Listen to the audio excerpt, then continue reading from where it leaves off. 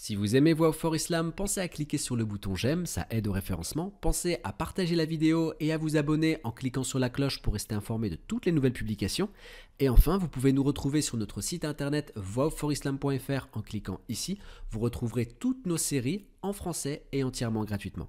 Je vous souhaite un excellent épisode, à tout de suite, Inch'Allah.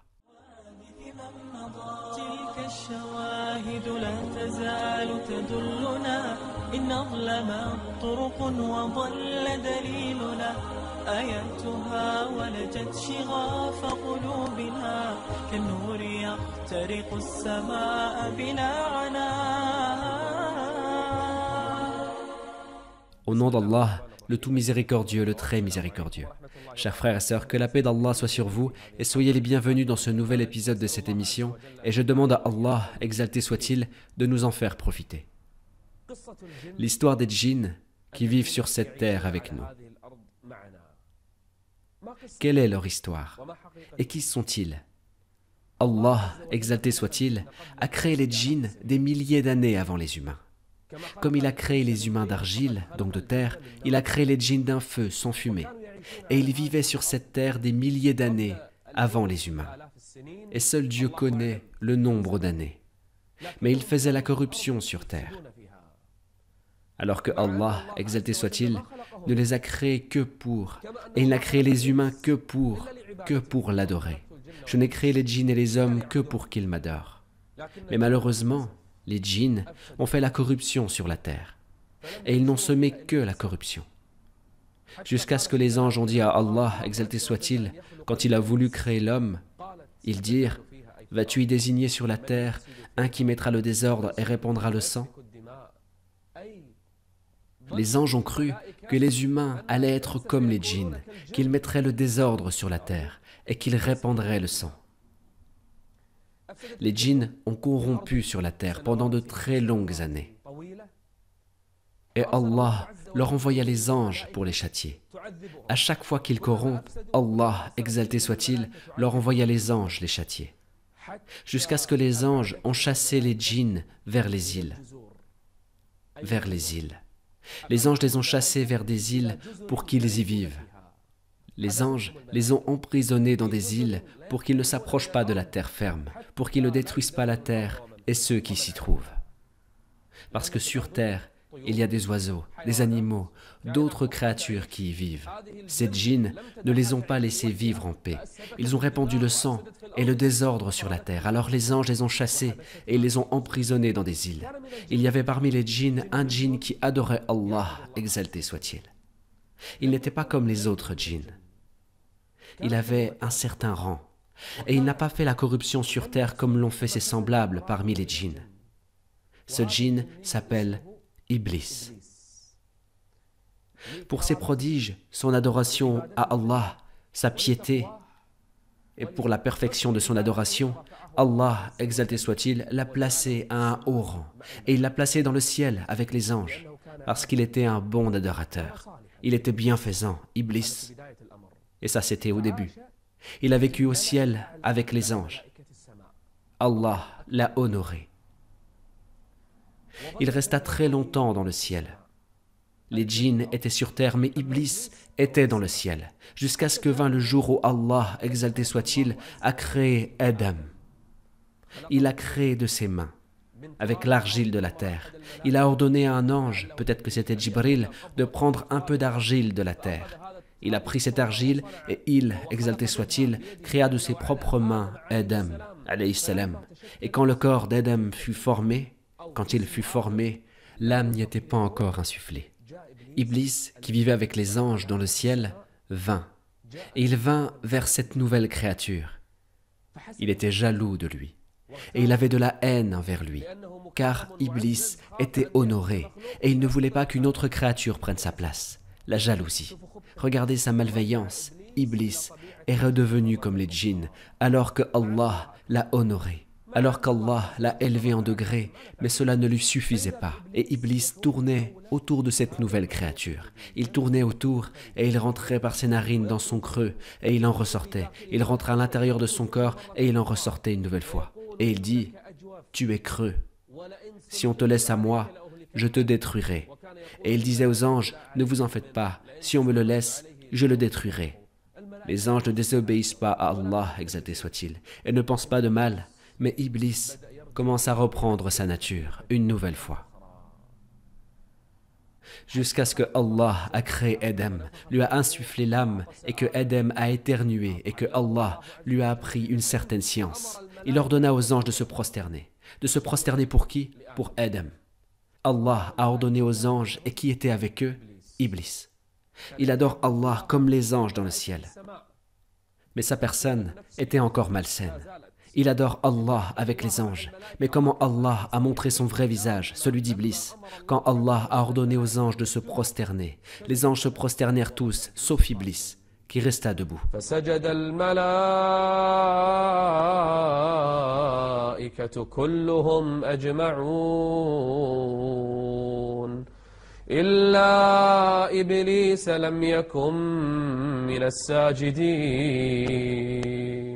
Allah, exalté soit-il, a dit aux anges de se prosterner, et tous les anges se sont prosternés. Ils se prosternèrent à l'exception d'Iblis qui refusa, s'enfla d'orgueil et fut parmi les infidèles.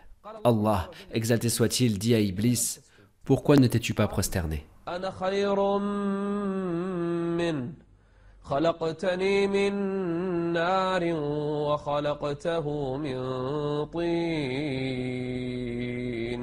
Je suis meilleur que cette créature. Je suis créé d'un feu alors que lui est créé d'argile. Les origines de ma création sont meilleures que les siennes. Pourquoi vais-je me prosterner pour lui? Pourquoi est-il honoré? Moi je vais me prosterner devant cette créature? Je ne vais pas me prosterner. Allah lui donne un ordre et lui, il désobéit à Allah. Celui qui désobéit à Allah comme l'a fait Iblis n'est plus croyant. L'orgueil. Il a refusé car il était orgueilleux. Il est orgueilleux. C'est pour cela que la mécréance s'appelle la mécréance d'Iblis et la désobéissance d'Iblis. Et quand Iblis a refusé, il a fait cela par orgueil. À l'exception d'Iblis, et il était parmi les djinns, dit Allah dans le Coran. Et il a désobéi à l'ordre de son Seigneur. Allah, exalté soit-il, l'a maudit et il l'a banni du paradis quand il a refusé de se prosterner pour Adam. Iblis fit une demande à son Seigneur. Il dit, Ô oh Seigneur, tu m'as maudit et banni. Alors donne-moi donc un délai jusqu'au jour où ils seront ressuscités. Je veux juste que tu me laisses vivre jusqu'au jour de la résurrection. Les djinns vivent plus longtemps que les humains, mais ils meurent quand même. Mais Iblis a demandé à son Seigneur de le laisser jusqu'au jour de la résurrection. Pourquoi? Il dit Oh mon Seigneur, donne-moi un délai jusqu'au jour où ils seront ressuscités. Allah dit Tu es de ceux à qui ce délai est accordé. Il dit Puisque tu m'as mis en erreur, dit Satan, regardez cette mauvaise façon de parler. Iblis a dit Parce que tu m'as induit en erreur. Est-ce que Allah t'a induit en erreur? C'est toi qui t'es enflé d'orgueil. C'est toi qui t'es obstiné. Mais Iblis, qu'Allah le maudisse, puisque tu m'as mis en erreur, dit Satan, je m'assoirai pour eux sur ton droit chemin. Puis je les assaillerai de devant, de derrière, de leur droite et de leur gauche, et pour la plupart tu ne les trouveras pas reconnaissants. Je vais tout faire pour les égarer de ton chemin. Allah l'a banni de son paradis, de sa miséricorde, et il fit habiter Edem dans ce paradis, dans cette miséricorde. Et il a créé de la côte d'Adam Ève, sa femme, et Adam et Ève ont vécu la plus belle vie dans le paradis. Maintenant, Iblis est banni, et les anges l'empêchent d'entrer au paradis d'où il a été chassé. Eh bien, que va-t-il faire? Il y avait un animal qui sortait et entrait au paradis. Cela se passe dans le ciel, et seul Dieu sait comment il était. Qui était cet animal? C'était le serpent. Il entrait au paradis et il en ressortait. On raconte qu'Iblis a demandé au serpent s'il pouvait entrer dans son corps et qu'il entre au paradis pour qu'il puisse entrer avec lui. Et effectivement, le serpent accepta ce qu'il veut et il le fit entrer au paradis. Et Allah le savait, mais il voulait tester.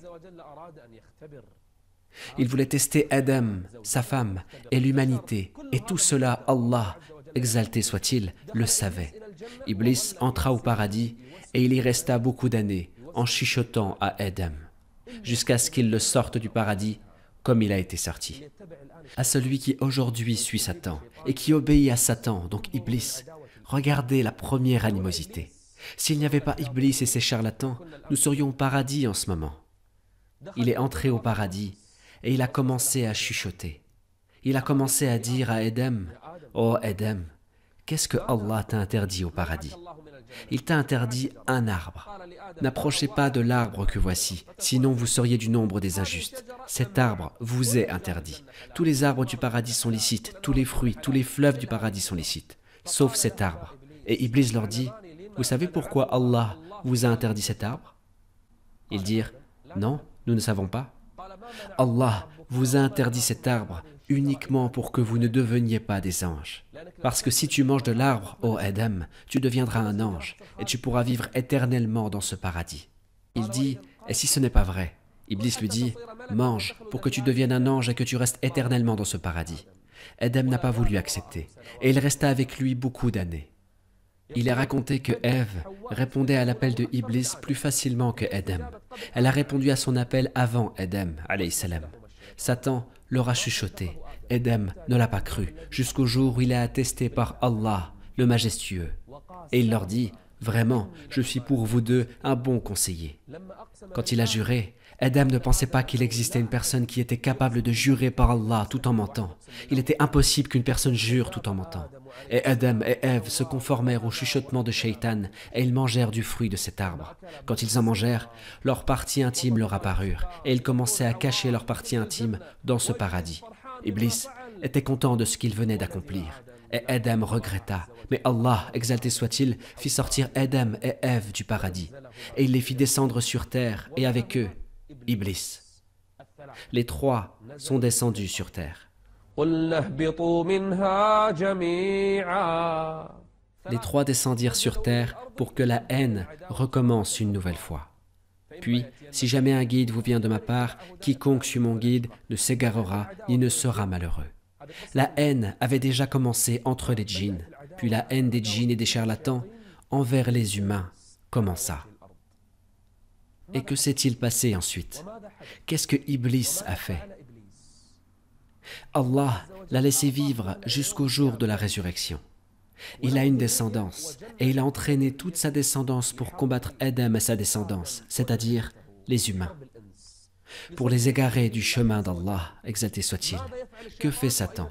Et où est-ce qu'il se situe aujourd'hui? Où se trouve Iblis? Quelle est la vérité sur la haine entre les djinns et les humains? Et est-ce que le prophète, avait déjà vu un djinn? Est-ce qu'il a déjà vu des charlatans, les démons? Est-ce qu'il lui est arrivé des choses entre les djinns et lui? Et est-ce que tous les djinns sont des démons et travaillent pour Iblis? Ou existe-t-il des djinns qui n'ont aucun rapport avec Iblis? C'est ce que nous allons voir aujourd'hui, si Allah le veut, dans la suite de cette vidéo.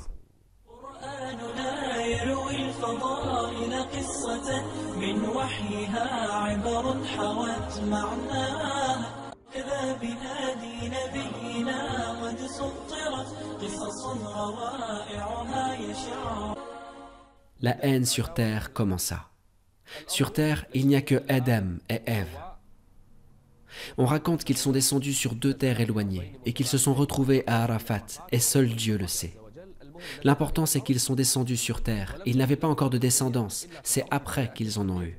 Et tous, tous étaient sur l'unification, le Tawhid. Et Satan, Iblis, a commencé. Il a construit un trône sur l'eau, et seul Dieu sait où se trouve cette eau.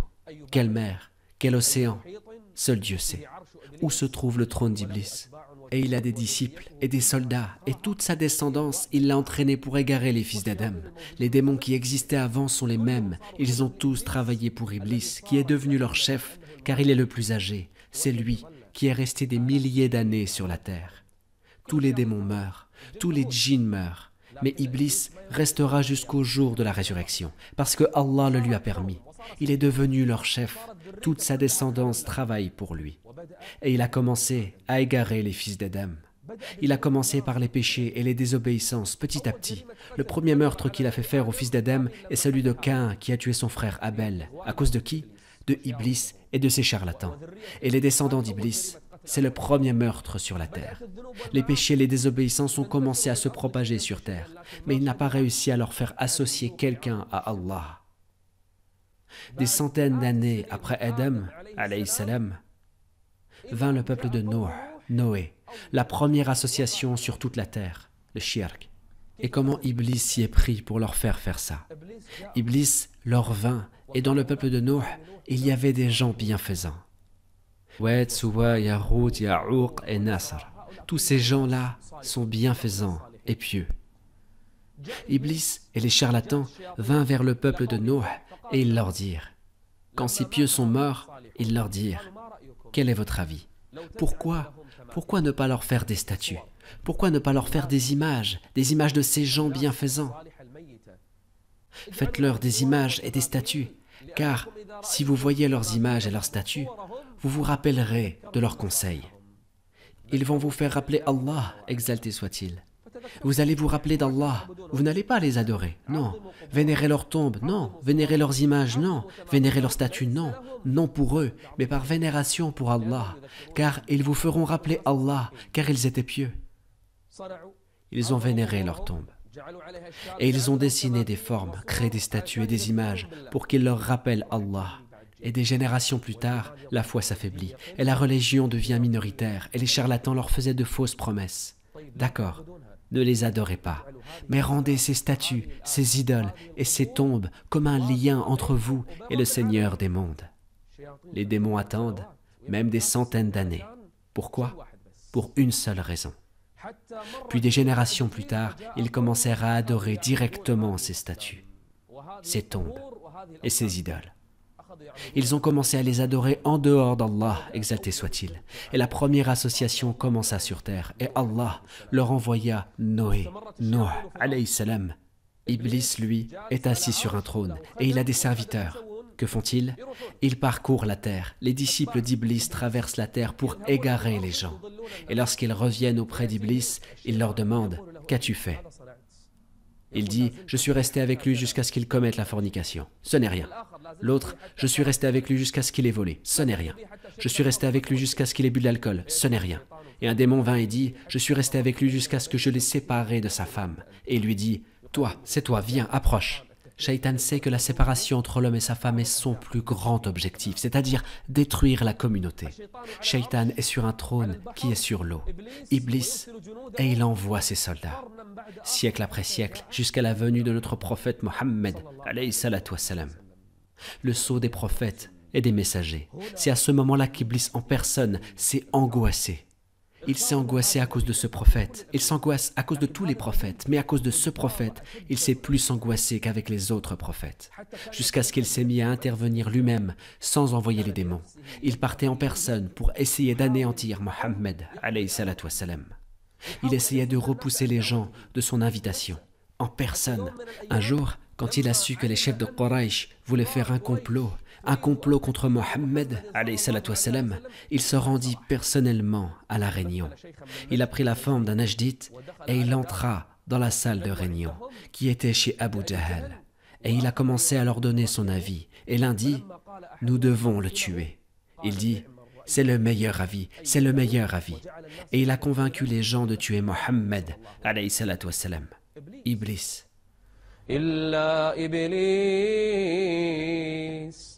إلا إبليس كان من الجن ففسق عن أمر ربه أفتتخذونه وذريته أولياء من دوني وهم لكم عدو. Allah dit Vous prenez Iblis, son groupe et sa descendance pour alliés et vous délaissez le Seigneur des mondes alors qu'ils vous sont ennemis quel mauvais échange pour les injustes. L'animosité recommença. Iblis et les démons dressa les Quraishites contre le messager d'Allah, et ils devinrent hostiles au messager d'Allah jusqu'à ce qu'ils partent pour Médine. Et il dressa les Quraishites pour le combattre. Qui est-ce qui les a préparés? Iblis, en personne. Et il prit l'image d'un homme qui est Suraqa ibn Malik. Iblis, son combat contre le messager d'Allah, c'est la plus grande bataille. Il sait que s'il gagne, il aura anéanti la religion sur toute la terre. Mais s'il ne gagne pas, tout ce qu'il aura préparé pendant de longues années sera terminé.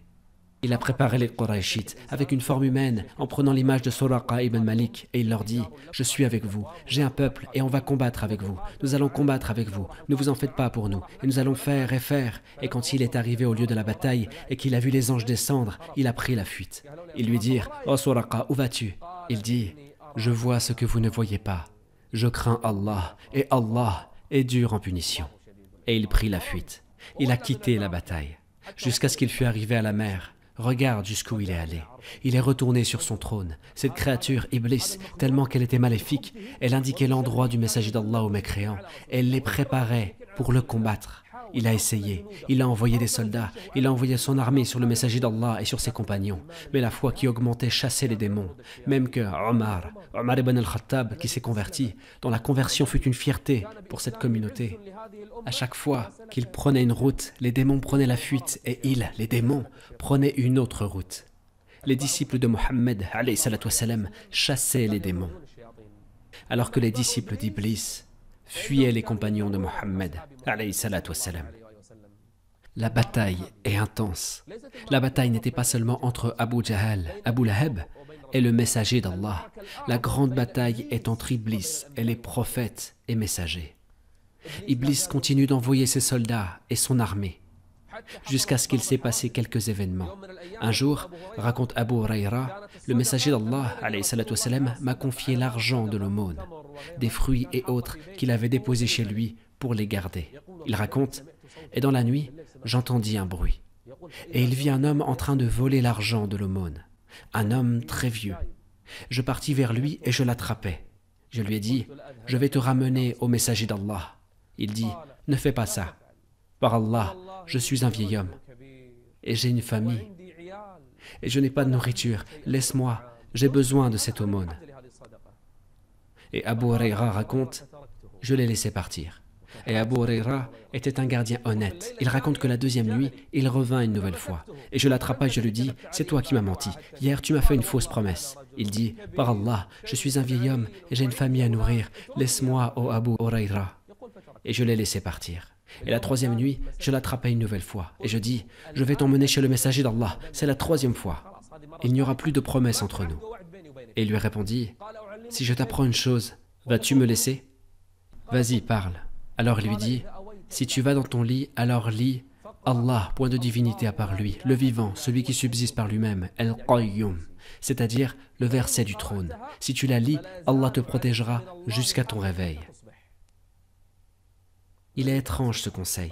Abu Huraira est le récipient de la sunna. Il connaît les hadiths. Et un homme vint lui donner ce conseil Qui est cet homme qui apprend à Abu Huraira? Abu Huraira le laissa partir. Et au matin, Abu Huraira partit chez le prophète et il s'assit auprès de lui. Il dit Ô oh, messager d'Allah, un homme est venu chez moi trois jours et il a fait ceci et cela. Chaque jour, Abu Huraira le disait au prophète. Et le prophète lui disait Il va revenir. Chaque jour, il lui disait ça. Mais le troisième jour, il dit au messager le conseil que le vieil homme lui a donné. Qu'est-ce que le prophète a dit? Il dit Sais-tu qui est cet homme, ô Abu Huraira? Il dit Non, je ne le connais pas. Il dit C'est Satan. C'est un charlatan qui venait à chaque fois. Il t'a dit la vérité alors que c'est un menteur. Les démons mentent tout le temps. Mais dans ce conseil, il t'a dit la vérité. C'est-à-dire que si tu lis le verset du trône, Allah te protégera jusqu'à ton réveil. Oui, car les démons savent qu'Allah protège les fils d'Adam avec ce verset. Un groupe de djinns et de diables vinrent voir le messager d'Allah, et il les rencontra, ces djinns, sur le chemin du retour à la Mecque, après avoir été chassés par les habitants de Taïf, de Nizibin, il s'agissait d'un groupe de djinns, et ils vinrent vers le messager d'Allah, et ils écoutèrent le Coran. Et ils étaient des gens de foi et de crainte d'Allah. Ils étaient sur la religion de Moussa, salam. Quand ils entendirent le Coran, certains d'eux dirent aux autres, écoutez. Et ils partirent chez leur peuple en avertisseurs.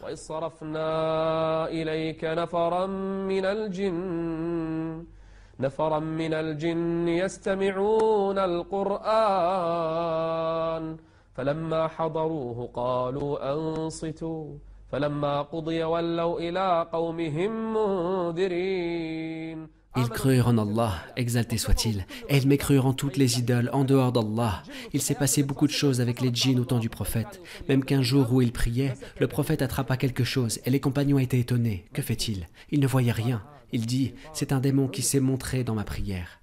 Et le prophète, salam, l'attrapa avec sa main. Et il raconte, jusqu'à ce que j'ai eu la sensation d'avoir sa salive sur ma main. Il dit, s'il n'y avait pas l'invocation de mon frère Sulaiman, je l'aurais attaché à un pilier pour que les enfants jouent avec. Et quelle est l'invocation de Sulaiman fais-moi donc un royaume tel que nul après moi n'aura de pareil. Les djinns et les démons continuèrent leur vie. Parmi eux, il y a le croyant et il y a le mécréant. Leur création est comme celle des humains. Ils ont des croyants et ils ont des mécréants. Ils ont des bienfaisants et ils ont autre que ça. Ils continuèrent leur vie sur terre. Leurs démons égarent les gens de la religion d'Allah, exalté soit-il, jusqu'à ce que Allah fasse ressusciter les habitants de la terre. Nous sommes impressionnés par l'histoire des djinns. Nous sommes aussi impressionnés aujourd'hui par des gens qu'Allah a honorés et qui nous disent Nous sommes des adorateurs de Satan. Leur cas est vraiment étrange, mais celui qui suivra Satan sera ressuscité avec lui dans la géhenne. Et quand Iblis leur fera un sermon et qu'il leur dira, certes, Allah vous a fait une promesse de vérité, tandis que moi je vous ai fait une promesse que je n'ai pas tenue. Je n'avais aucune autorité sur vous si ce n'est que je vous ai appelé et que vous m'avez répondu. C'est l'histoire brève des djinns et des démons qui a été racontée dans le Coran et dans la Sunna. Je vous revois Inch'Allah dans le prochain épisode et je vous laisse à Allah que le salut et les bénédictions d'Allah soient sur vous. Voix for Islam existe grâce à vous, grâce à votre contribution. Nous ne vivons pas de la publicité, celles présentes sur la chaîne sont imposées par YouTube en raison de droits d'auteur. Vos dons nous permettent de continuer nos projets. Et Allah a garanti à chacun sa subsistance. Barakallahu fikum.